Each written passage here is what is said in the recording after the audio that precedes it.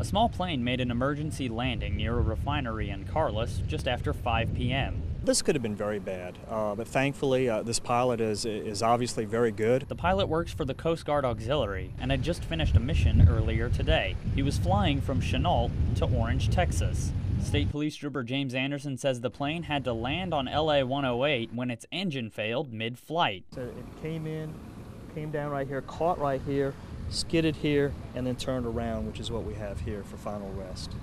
Anderson says this could have been a lot worse. There's a plant to the right, this narrow strip of Highway 108 where the plane landed, and to the left, another plant.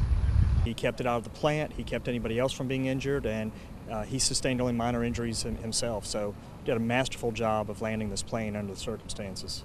No cars on the highway were damaged. The pilot received a bump on the head. We only have a down power line to show for it. LA 108 opened just after 8:30 tonight after the FAA concluded a short investigation into the incident.